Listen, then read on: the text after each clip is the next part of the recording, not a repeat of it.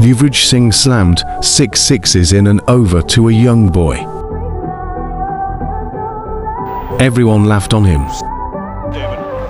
But who know, that boy will become the greatest pacer of the world.